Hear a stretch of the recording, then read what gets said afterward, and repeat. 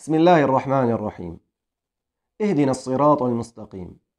لكلمة الصراط ثلاثة أوجه. الوجه الأول هو أن نقرأها بحرف الصاد. والوجه الثاني أن نقرأها بحرف السين. وأما الوجه الثالث فهو أن نقرأها بالإشمام. والإشمام هنا هو أن نخلط حرفي الصاد مع الزاي. فتكون القراءة على وجه الصاد. أن نقول اهدنا الصراط المستقيم وهي القراءة التي نقرأ بها. وأما الوجه الثاني فهو بالسين اهدنا الصراط المستقيم.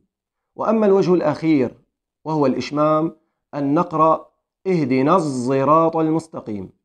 والكلمات الثلاثة هي بمعنى واحد الصراط والصراط والزراط. معناها الطريق الواضحة المتسعة التي تتسع كل من يمشي فيها.